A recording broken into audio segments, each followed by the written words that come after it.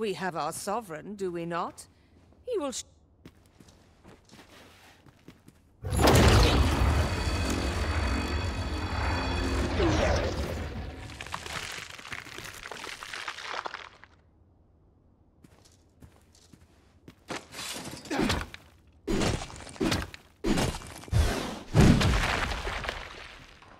Pierce.